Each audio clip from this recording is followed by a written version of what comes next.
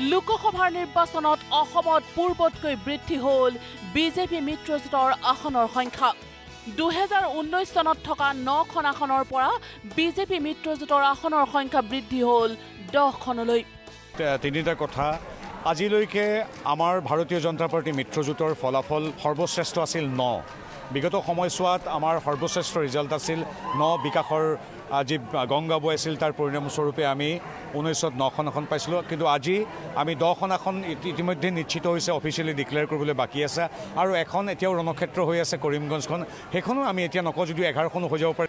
মুখ্যমন্ত্ৰী হিচাপে দেশৰ ভিতৰতে সকলোতকৈ সফল ডক্টৰ হিমন্ত বিশ্ব শৰ্মা। অসমৰ ৰাজনীতিৰ পৰা একেবাৰে উৎখাত হ'ল A I D F.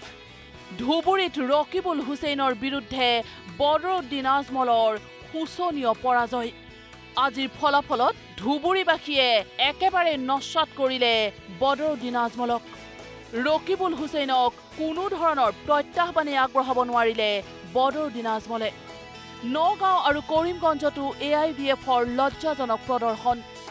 Nagaon কৰিমগঞ্জত তৃতীয় স্থানত থাকিল এ আই ডি এফ অসমৰ সংখ্যালঘু ৰাইজে অগ্ৰাহ্য কৰিছে এ আই ডি এফক অসমৰ ৰাজনীতিত জৱনিকা পৰিল আজমল অধ্যায়ৰ। যে আজিৰ পৰা A I U D F দল ইতিহাসৰ পাতলৈ গতি কৰিব। আৰু এতিয়া এ আই ডি এফক এৰি কংগ্ৰেছৰ কাষত অসমৰ সংখ্যালঘু। যোৰহাট সমষ্টিৰ বাহিৰে এতিয়া কংগ্ৰেছৰ ভোট বেংক কেৱল সংখ্যালঘু ভোটাৰ। কাৰণ যোৰহাটৰ বাহিৰে সংখ্যালঘু অধ্যুষিত সমষ্টিকেইটাতহে চমকপ্ৰদ প্ৰদৰ্শন কংগ্ৰেছৰ। সংখ্যালঘু অধ্যুষিত ধুবুৰী আৰু নগাঁৱত কংগ্ৰেছৰ চমকপ্ৰদ প্ৰদৰ্শন। যোৰহাট লোকসভা সমষ্টিত কেৱল নিজৰ ব্যক্তিত্বৰ বাবে জয়ী হ'ল গৌৰৱ গগৈ। তৰুণ গগৈৰ পুত্ৰ হিচাপে আৰু নিজৰ সক্ৰিয় ব্যক্তিত্বৰ বাবেহে যোৰহাট লোকসভা সমষ্টিৰ ৰাইজে আদৰি ল'লে গৌৰৱ গগৈক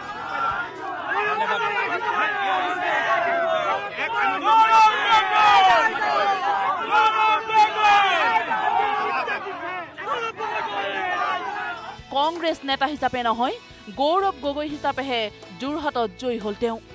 যোৰহাটত এইবাৰ যুঁজ আছিল গৌৰৱ গগৈৰ সক্ৰিয়তা বনাম তপন গগৈৰ নিষ্ক্ৰিয়তা।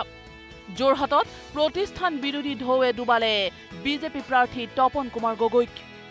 যোৰহাট লোকসভা সমষ্টিত সাতটাকৈ বিধানসভা সমষ্টি আছিল বিজেপিৰ। কিন্তু মাজুলীৰ বাহিৰে কোনো বিজেপি বিধায়কে যোৰহাট লোকসভা সমষ্টিত তেওঁলোকৰ প্ৰাৰ্থীৰ সপক্ষে ভোট আনিব নোৱাৰিলে। যোৰহাট লোকসভা সমষ্টিৰ অন্তৰ্গত কেৱল তিনিটা সমষ্টিহে আছিল কংগ্ৰেছ তথা বিৰোধী ঐক্য মঞ্চৰ নাজিৰা তিতাবৰ আৰু শিৱসাগৰ। কিন্তু মাজুলীৰ বাহিৰে সকলো বিধানসভা সমষ্টিতেই গৌৰৱ গগৈৰ চমকপ্ৰদ প্ৰদৰ্শন। ৰাইজৰ জয় লোকতন্ত্ৰৰ জয় যোৰহাট লোকসভা সমষ্টি ৰাইজৰ জয়। আৰু ইতিমধ্যে মই যিমানবোৰ আমাৰ নতুন ভোটৰ আছিলে যিমানবোৰ নতুন ভোটৰ ওলাই আহি এইবাৰ ঐতিহাসিকভাৱে আজি ভোটদান দিলে। মই বিশেষভাৱে নতুন ভোটৰসকলক নতুন আছামক মই ধন্যবাদ কৃতজ্ঞতা জ্ঞাপন কৰিছোঁ। এইবাৰৰ নিৰ্বাচনে উজনিৰ পৰা উৎখাত কৰিলে জাতীয়তাবাদক। ডিব্ৰুগড় লোকসভা সমষ্টিৰ ৰাইজে সৰ্বানন্দ সোণোৱালক আদৰি লৈ ডিব্ৰুগড় লোকসভা সমষ্টিত সৰ্বানন্দ সোণোৱালৰ বিৰুদ্ধে লুৰিণজ্যোতি গগৈৰ শোচনীয় পৰাজয়। অৰ্থাৎ এইবাৰৰ নিৰ্বাচনে উজনিত ধূলিসাৎ কৰিলে জাতীয়তাবাদক।